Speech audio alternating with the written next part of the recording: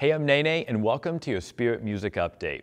Well, Kirk Franklin and Maverick City Music finally dropped their collab project together. It's called Kingdom Book One, and you can find them performing it right now on tour.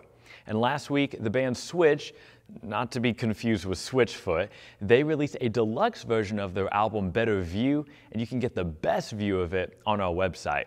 And of course, we've got more than tour dates and album drops on our website at spirit.tv, but you can also grab our free app in the Google Play or App Store. And that's been your Spirit Music Update.